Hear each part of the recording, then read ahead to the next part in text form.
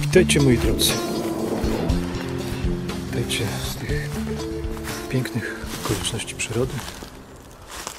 Widzicie sobie chodzę. Co prawda muszę troszeczkę uważać, bo biega tu dużo jeleni i gdzie niegdzie można wdepnąć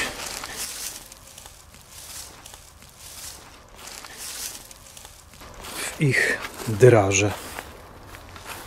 Draży jest u nas dostatek, bo jest to kraina mlekiem i miodem płynąca. E, Zanim zacznę dzisiaj, chciałbym zaśpiewać Wam kawałek piosenki. Starsi z Was na pewno będą to kojarzyć, młodzi mogą się domyślać. Otóż Skojarzenia to przekleństwo, więc możemy dziś dać głowę. Jakiekolwiek podobieństwo będzie tutaj czysto przypadkowe. E, chciałbym Wam powiedzieć dzisiaj coś na temat. Coś na temat tego, dlaczego, dlaczego mamy taki nieładny obraz Boga w Starym Testamencie. Otóż dlatego, z tej prostej trywialnej przyczyny, którą zresztą wskazał Jezus, a powiedział, jak do nich przyszedł, że nikt z nich, nikt z nich ani nie słyszał, ani nie widział tego, który go posłał.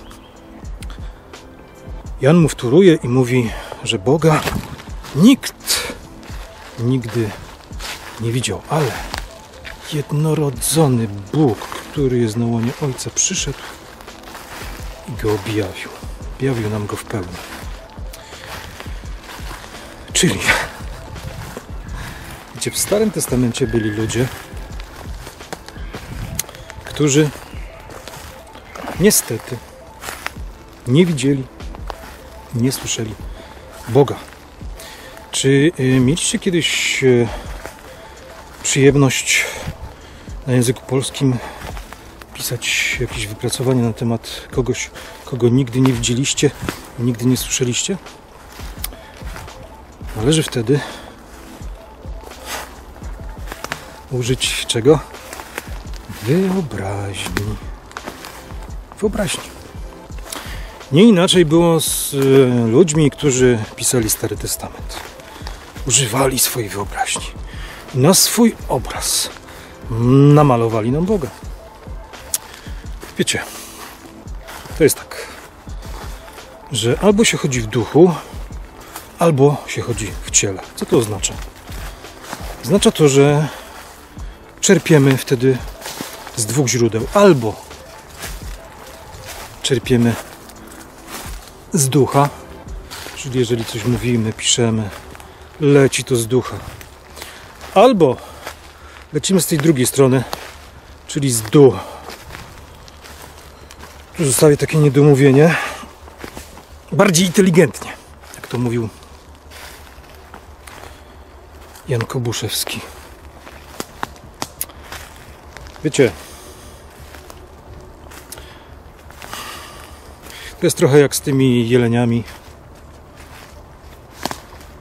i ich drażami. Bo niby skąd oni wytrzasnęli tego Boga? Tego pełnego gniewu, zazdrości i to do czwartego pokolenia. Mściwości, chęci zemsty, nieokrzesania. Otóż ludzie o bardzo zatwardzonych serduchach na swój obraz i swoje podobieństwo wymalowali nam Boga, którym się straszyli nawzajem i tym strachem się dopingowali. Wiecie, są tylko i wyłącznie dwa źródła. Dwa źródła. Strach i bezwarunkowa miłość. Jakie są y, owoce miłości możecie sobie przeczytać w Galacjan.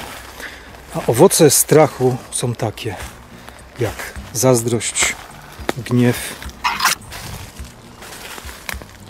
e, pycha, mściwość. To są owoce strachu. Gniew jest na przykład strachem przed utratą autorytetu. E, Zazdrość jest strachem przed utratą e, kogoś, kogo się kocha. Na przykład. Zatem wiecie co, to wszystkie te owoce strachu zostaje przypisane osobie, której ci ludzie, którzy go opisywali, nie, nie widzieli go nie, nie słyszeli. Wyciągnęli sobie to z, z niedomówienia. Nie chodzili w duchu. Nie wiedzieli, jakiego ducha są.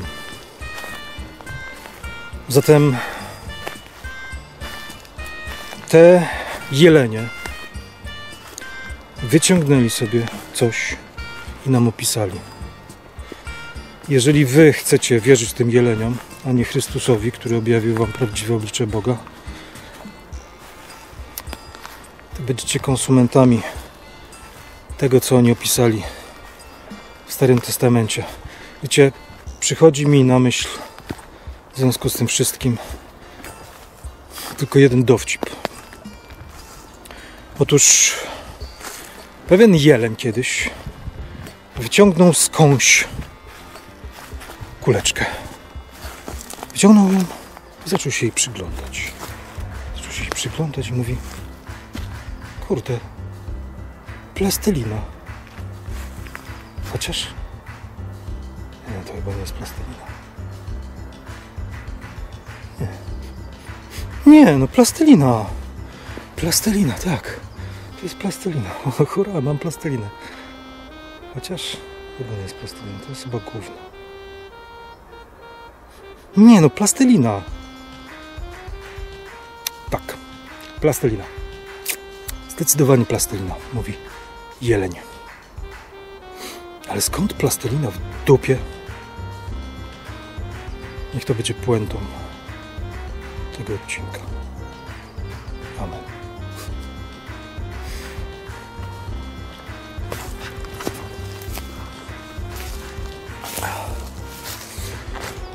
Nie bójcie się.